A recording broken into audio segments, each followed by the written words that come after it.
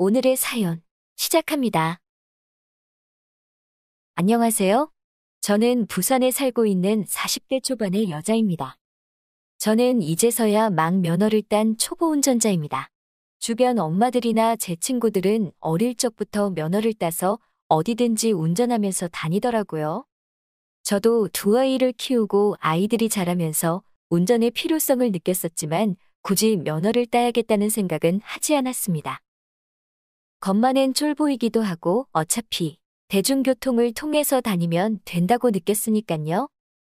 그러던 어느 날 남편이 다니던 물류센터에서 그만 남편이 양쪽 다리를 다치고 말았습니다. 다행히 큰 사고는 아니었고 병원에서 치료 잘하고 잘 쉬면 된다고 했습니다. 남편은 꽤 오랫동안 치료를 하면서 그동안 운전도 할 수 없게 되었습니다.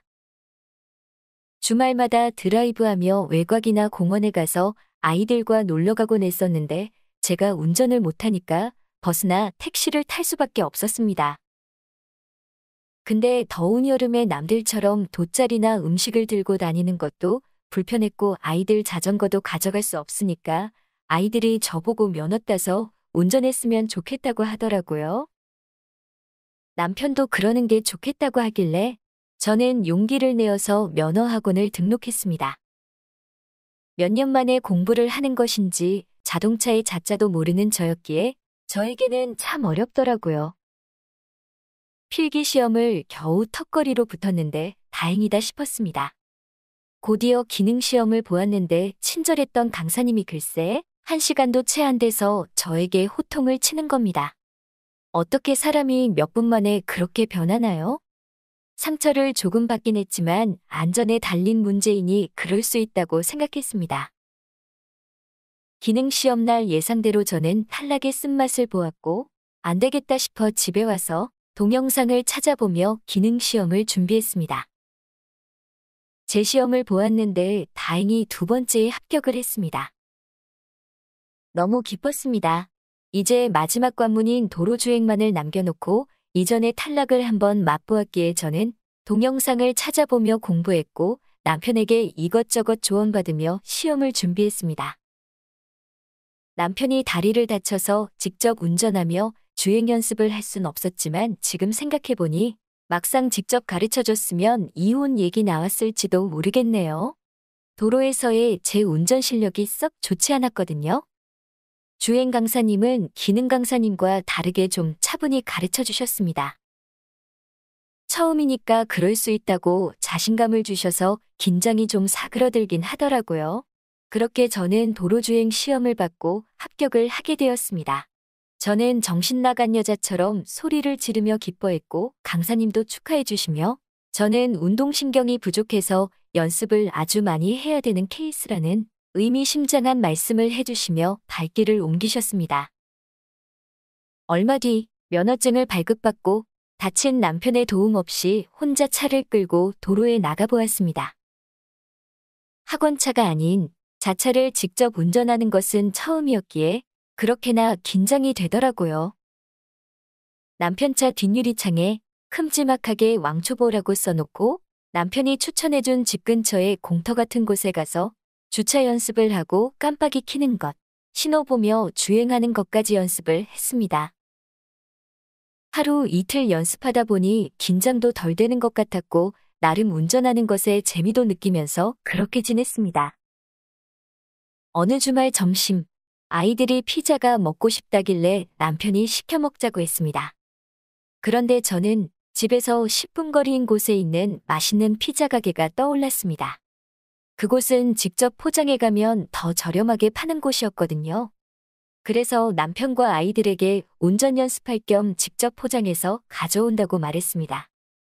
남편은 제게, 여보, 그곳은 주차하기가 좀 불편해. 당신 운전 좀 익숙해지고 가는 게 어때? 라고 말했습니다. 그런데 저는 이상하게 직접 가고 싶었습니다. 그래서 여보, 나 지나가다가 거기 많이 지나쳤는데 지금 시간이 일러서 사람 그다지 많지 않을 것 같아. 한번 다녀오고 힘들면 그냥 올게. 하고 말했습니다. 남편은 내심 걱정스러운 표정이었고 사람 많으면 그냥 다시 오라는 말을 하고 들어갔습니다.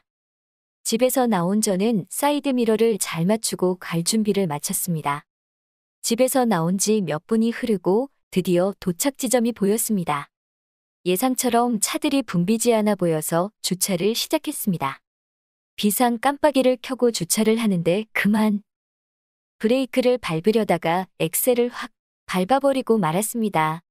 갑자기 차가 빠른 속도로 움직이길래 저는 당황을 했고 운동신경도 꽝이었던 저는 엑셀을 잘못 밟은 지도 한참이 지나서야 인지할 수 있었습니다. 그때는 이미 앞에 있는 차를 쾅쾅 박은 후였습니다. 온몸이 벌벌 떨리고 힘이 빠져서 핸들을 잡고 고개를 들 수가 없었습니다. 잠시 후 누군가 창문을 두들겼고 저는 제가 사고를 낸 차주인이라는 걸 직감할 수 있었습니다. 차주인은 깔끔한 외모의 중년 남성이었습니다. 차주인은 제게 어찌 된 거냐며 어이없는 표정으로 저를 쳐다보았습니다. 저는 천천히 고개를 들고 사고난 차량을 보았습니다. 주차하다가 사고당한 차로는 보이지 않을 정도로 심하게 패인 차를 보며 저는 한숨이 나왔습니다. 그런데 다시 보니 고급 외제차 마크가 보였습니다. 비싸 보이는 차를 보며 저는 큰일 났다 싶었습니다. 저는 아직 보험을 들지 않았었거든요. 남편이 면허 따자마자 들어놓으라고 했었는데 오늘 일요일이라서 내일 월요일에 들으려고 했었는데 하루 전에 이게 뭔지 정말 절망스러웠습니다. 너무 속상하고 무서워서 고개 숙여 울고만 있었습니다. 차주인이 그런 저를 말없이 지켜보았고 혹시 보험이 없으시냐고 물었습니다. 저는 그렇다고 했는데 그럼 어떻게 할 거냐고 제게 묻더라고요. 그리고 그 남자는 외제차라 수리비가 꽤 나올 거라는 말을 했습니다.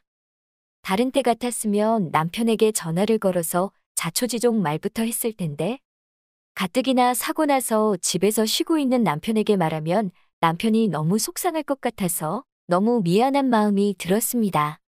그리고 오늘 운전하지 말라고 했는데 제가 남편 말을 안 들어서 이 지경이 났으니 정말 죄인 같은 기분이었습니다.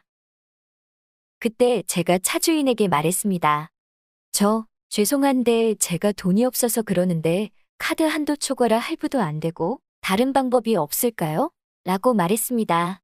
잠시 뒤 차주인은 생각 있으면 맞은편 건물 5층으로 가 있으라고 하는 거였습니다.